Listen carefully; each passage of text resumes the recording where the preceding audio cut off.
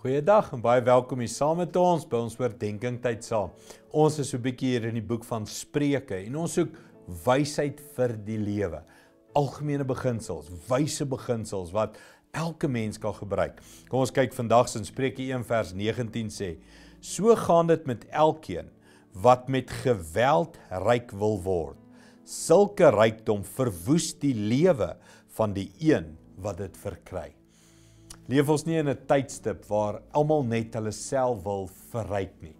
Ten koste van ander, ten koste van ons land, ten koste van grootskaalse armoede, wil mense net hulle self verryk. En die Bybel waarsku, Spreuke waarsku ons en sê, rykdom wat so verkry word, dit hou nie. Dit dit help nie. Dit verryk jou nie regtig nie, maar ja, hoe's ons as mense? Ons bly dink as ek net hierdie deal kry, as ek net daai paar rand in die bank kry. Ja, is dit nie die regte manier om dit te kry nie, maar as ek net daai paar rand kry, gaan ek dan hierdie week 'n korttermyn oplossing vir groot probleme.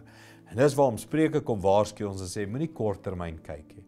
Moenie moenie kyk net vir 'n in Engels weer 'n quick fix nie. Nee, kyk langtermyn. Kyk wat wil jy word? Wie wil jy word? Wat se karakter wil jy hê en wat se vrug moet dit dra? Hierdie skrif sê die vrug wat sulke uh, verkeerde rykdom inbring is verwoesting. Dis dis die lesse wat Spreuke ons leer en wat ek al geleer het. Die verwoesting kom nie net altyd na jou toe nie. Verwoesting kom geslagte na jou. En hoe betaal ons nie in ons land vir geslagte se kortsigtige lewens nie. So, maak jy nou die besluit vir vandag. Jy wil meer die regte pad stap.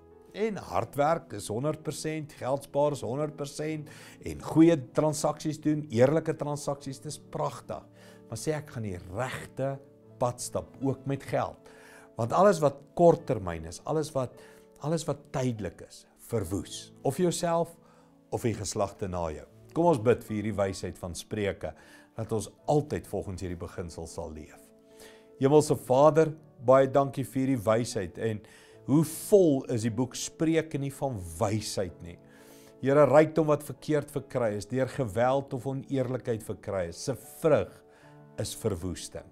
En Here, dis waarom ons wil bid. Help ons om rustig te bly, mooi te dink, goed te werk en maar die lang pad te stap vir dit wat ons wil bereik eerder as die kort pad wat vol verwoesting is. Help ons daarmee vandag, Here, is ons gebed in Jesus naam. Amen.